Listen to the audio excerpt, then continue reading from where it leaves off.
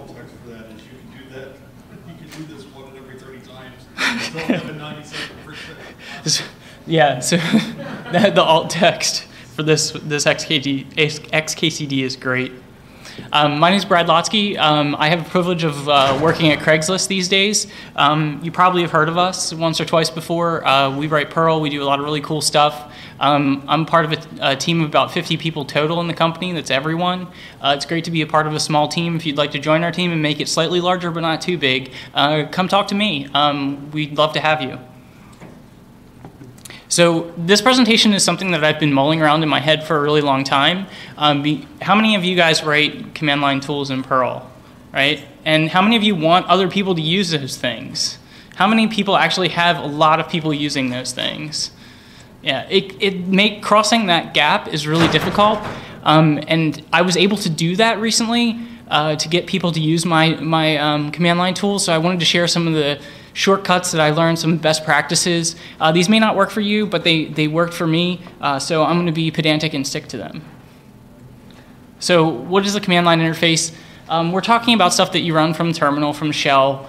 Um, personally, the, I prefer not using a mouse. I like to be able to keyboard in. And once I can keyboard something, the really key piece here is that computers can run it for me.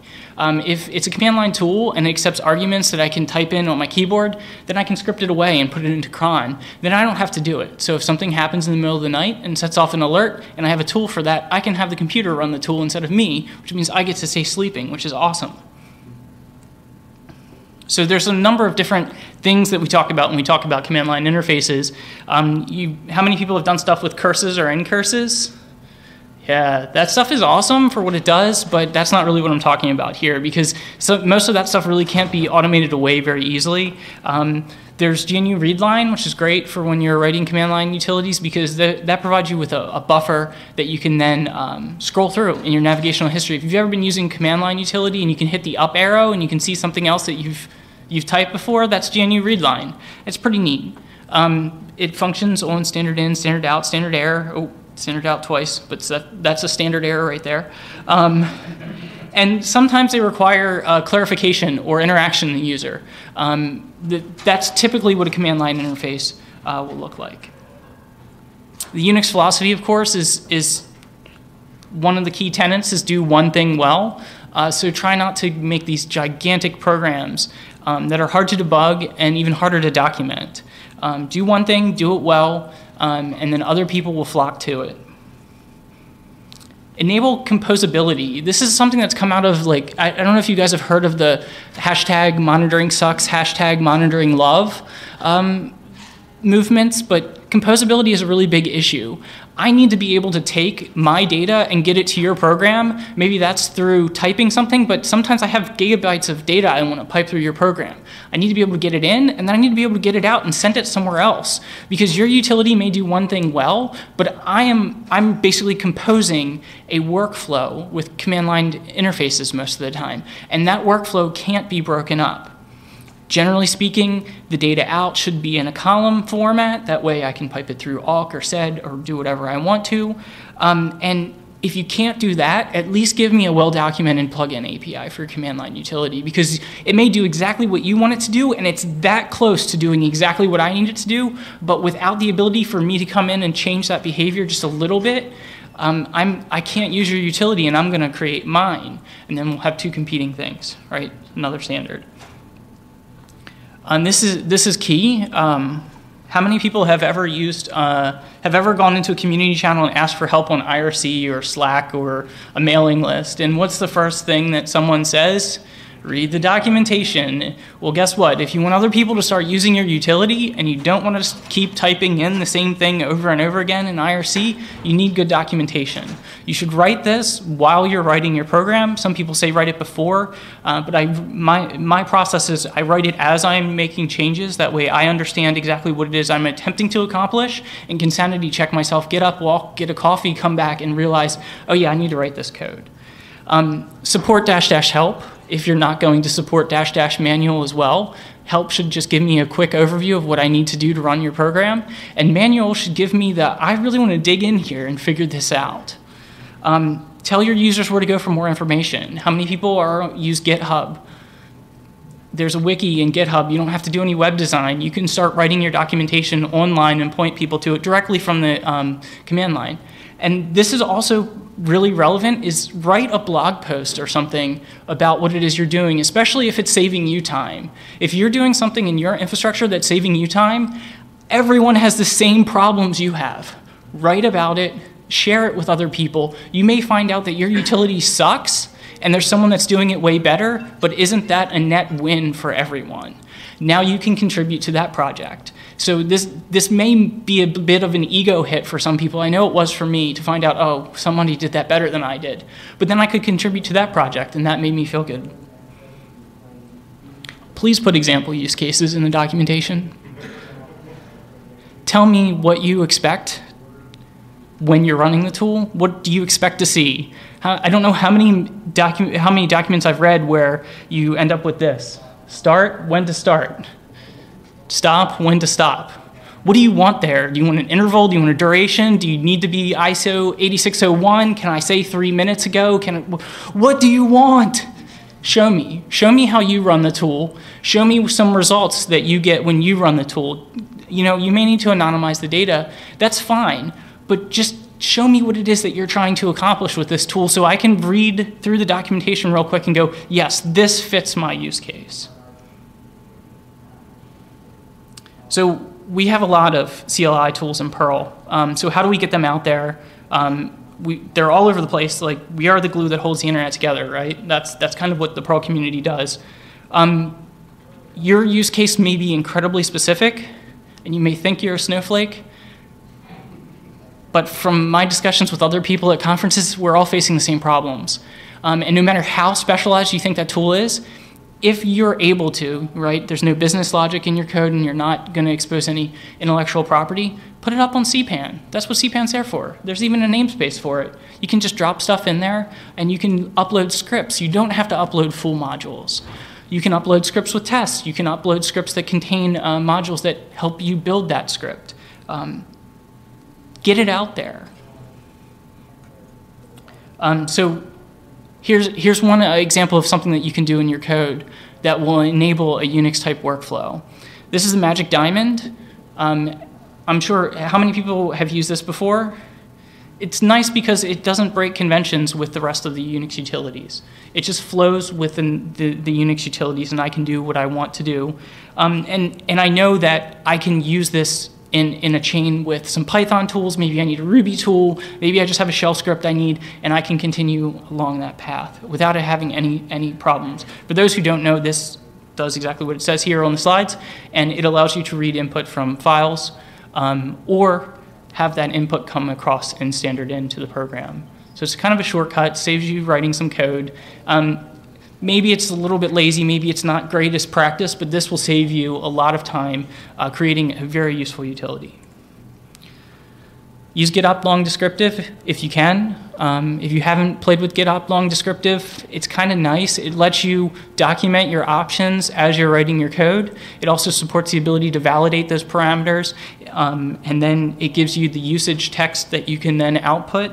So running that will generate something like this um, from here, you can see one of the nice things about this is that it can read the optional um, delegations. So here I have server or S, and then when I see the output, it actually shows me the short option is dash S. Um, and this, this is actually directly from the man page of Getopt long descriptive. Because they have good documentation, I could just copy and paste it. So this is not my work, this is Getopt long descriptive. Um, pod usage is also really cool. I use pod, um, I'll use Getopt long descriptive to do the dash dash help on my program, and then I'll tend to use pod usage for the dash dash manual, which is the real in-depth, you know, dig in, uh, run running with full less. Um, pod usage has some options. You can have it specify an arbitrary message. Uh, you can set the exit flag, so if somebody has used the program incorrectly, you can send them a message and set the exit code to one or something other than zero.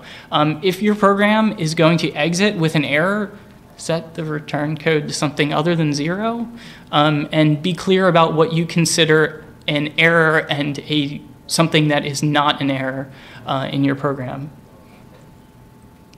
Uh, term read line is pretty easy to use. I'm not going to go through example use cases. You can pull up the Perl documentation on it. I was able to convert stuff to use term read line pretty quickly. And like I said, all that gives you is the ability to name a buffer and then have me be able to scroll using the up and down arrows through previous values I've entered in there, which could save me thousands of lines of uh, typing a year. And as someone once told me, we have a finite number of keystrokes before we die. So if, if you can use this, please do.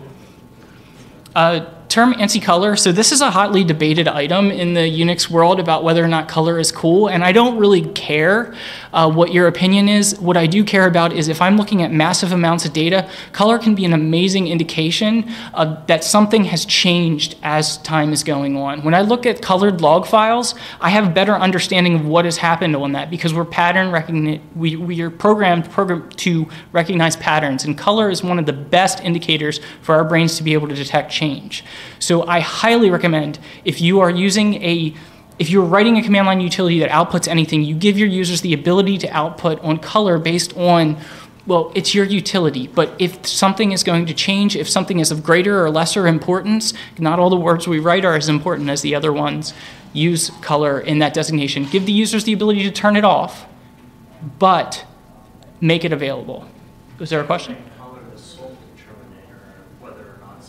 Correct do not make color the sole determinator is a good point. Um, you, there's some really interesting stuff with um, simulating color blindness that you might want to uh, snuggle up to if you're going to get really, you know, if this is a critical utility in your infrastructure that you need to understand because green and red are often the colors we use to indicate success or failure. And for people who are colorblind, those can be look identical on the screen. So understand what it is you're trying to convey with color, but please make it available um, so that we can make use of it. You could even support theming if you really wanted to get into it so that people can select different colors, even grayscale would help out. Oh, the other thing you can do is, is possibly check, um, you know, to, to put the nail in the coffin of debate, I hate color, I don't want to ever see it. Check the users.git config. How many people use git here? How many people have a .git config that says to turn color on automatically? right? So if I have a utility that I'm writing, I can check your git config because it's probably there. And it, if it is, I can just take your color preference and apply it. If you specify dash dash color or dash dash no color, I'll honor that. But if you don't specify anything, I'm going to check first to make sure that my experience matches your expectations. Because if your program doesn't have color and I use color in my git config, I'm, I'm instantly losing a layer of user interface.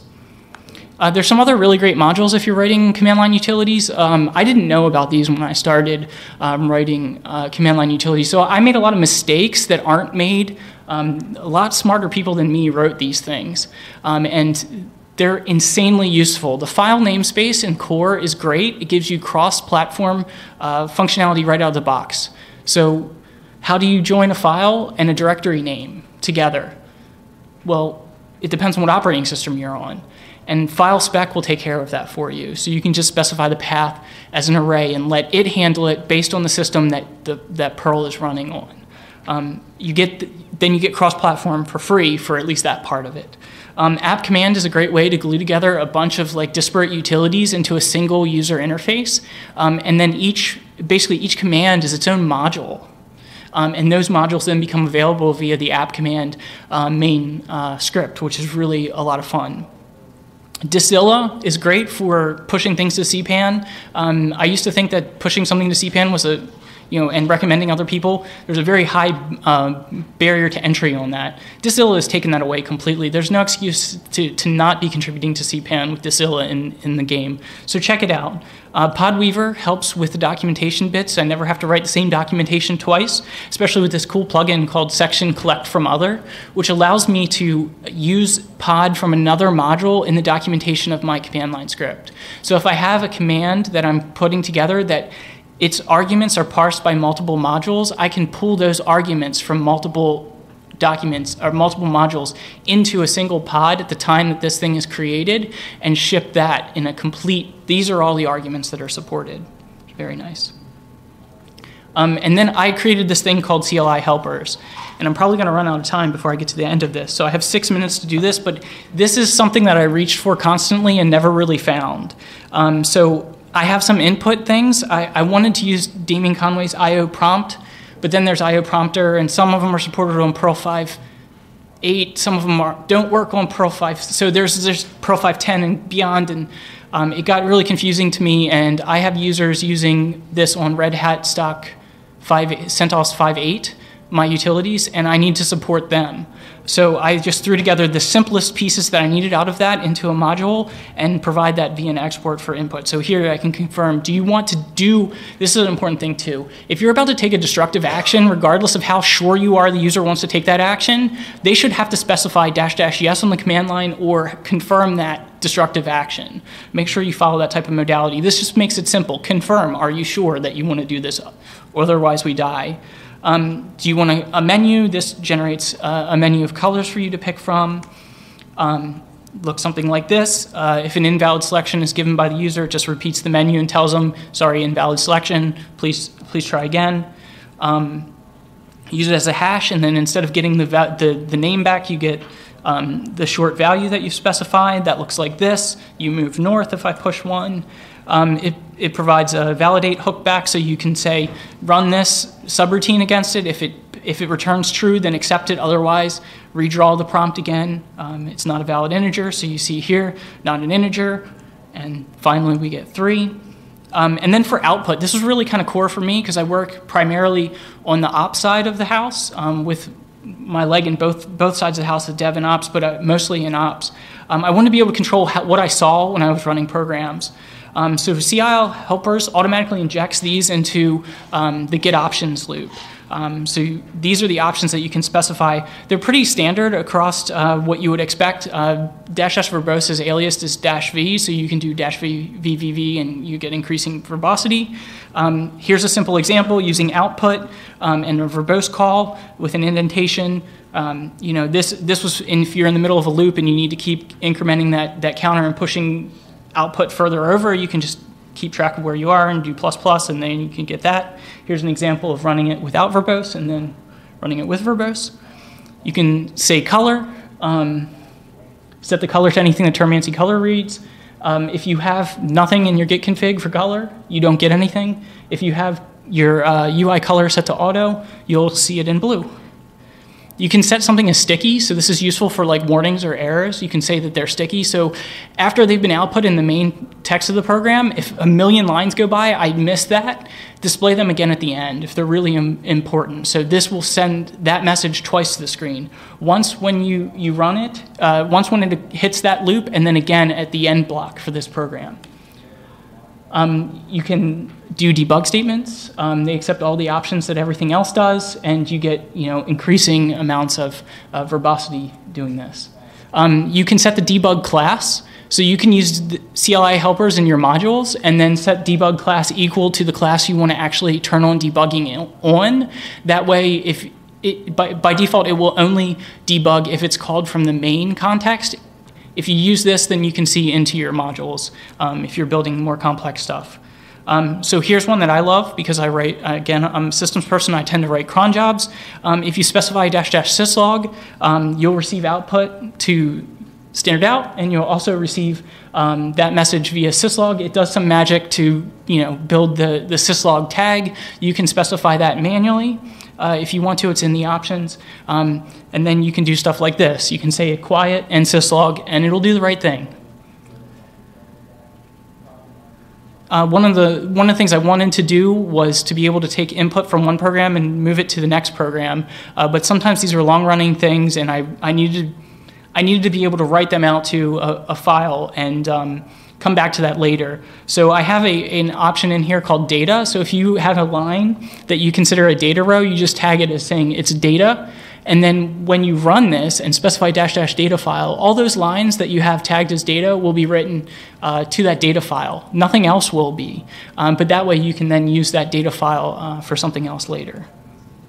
Here's a few of the options that the output um, uh, specifies in that hash reference that comes first if you decide to use it.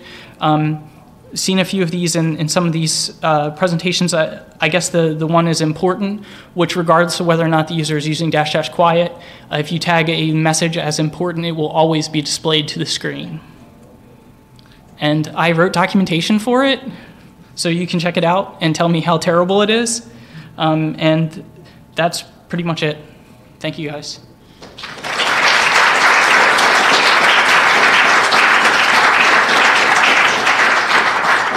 Are there any questions? We have like 30 seconds. Yeah. Thank you. Use the double diamond, Huh? use the double diamond. Probably.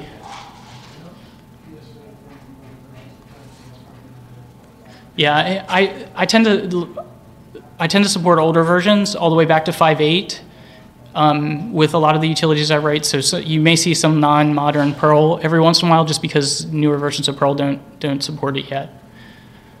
You'd be surprised. Those people are the first to write bug reports on GitHub if they're using your utilities on older versions of Perl and they're just locked in. Uh, so you, I try to do my best to make it still accessible to the to people locked into older versions of Perl. Um, I wish I did. I wish I didn't have to, but I, I feel like that's getting it, getting some of the utilities more traction. Any other questions? How do you, I know uh, with app command, there, it's pretty easy to do testing, but if you're not using app command or you're using the interactive features, like, uh, uh, how do you, how do you do testing for those? Testing testing is tricky. The question is, how do you do testing if you're um, if you're constantly relying on interactivity uh, from the, the command prompt? It, it's difficult. Um, I have to say, I've passed on some of that stuff um, myself and relied on um, just bug reports uh, where there is a high level of interactivity that's required. Um, but you could, you know, use expect to be able to generate that output or that input to the program and then make sure that it, it handles things. Um, or just for those interactive pieces, make sure that those are testable components themselves and don't rely on the, don't test the interactivity, test the functionality. Uh, and that, that is, um, that's where I've been leaning towards these days is just basically focusing on what is this thing supposed to do? What is this function supposed to do when it gets called by the user? I can't control when the user calls it, but let me make sure that it does the right thing. Any other questions? Cool. Thanks, guys.